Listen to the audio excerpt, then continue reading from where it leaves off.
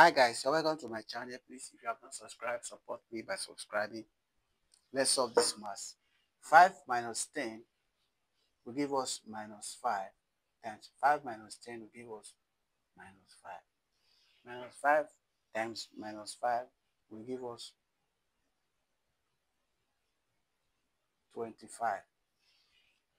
But this answer is not correct. According to order of operation, we have to first of all solve what is inside the bracket.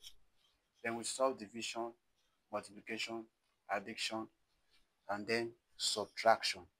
So let's solve it correctly and see the correct answer. So minus 5 times 10, minus 5 minus 10, sorry, will give us what? Minus 5. Remember there's invisible multiplication here.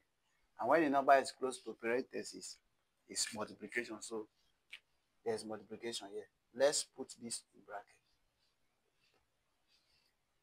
Then put your 10 here. Minus 5.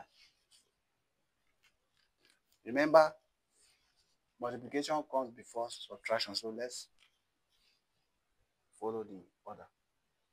Minus 10 times minus 5 will give us plus 50.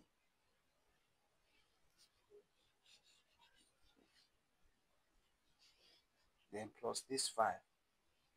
50 plus 5 will give us what? 55.